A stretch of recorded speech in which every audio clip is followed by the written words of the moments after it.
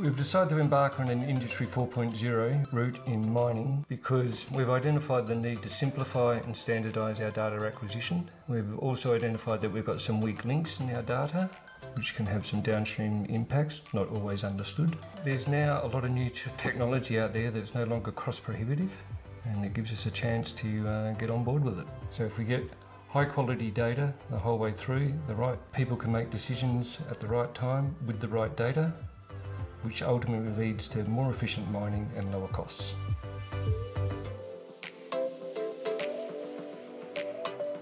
So Imerys face a number of challenges tracking mining performance today.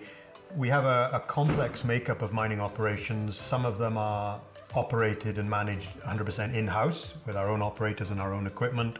But the large proportion, 60 plus percent, are contracted out either. Data capture is another key area in our business, and we we don't come from a history of having a strong mindset of data capture in our in our mine environments. Uh, as we hear often, data is the new oil today, so we're, we're, not giving ourselves the right information to challenge the way we're working. So we're not really measuring, so we're potentially not managing our operations as, as, as well as they could be. So those are the key challenges that we face today. This system is basically a three component system.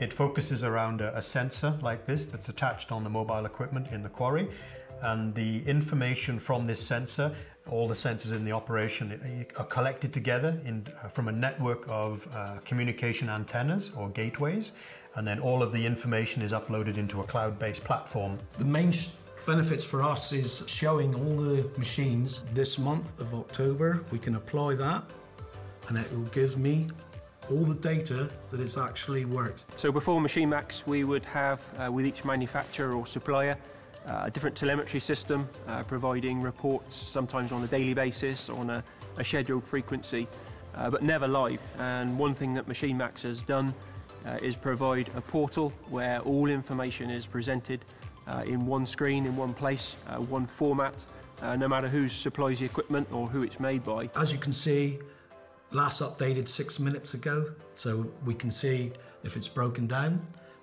because the grey mark will come up and we'll think, why? So we get on the radio and just ask them, are you okay? So it's, it can be, the tool could be used for so much. Other benefits is a reduction in idling time. Uh, we really notice that. And that brings other benefits. If I think of fuel burn as well, so reduced fuel burn, and thinking of our, our CSR targets as well, that brings benefits for our CO2 uh, emissions, you know, per tonne moved. So really some excellent benefits from the system.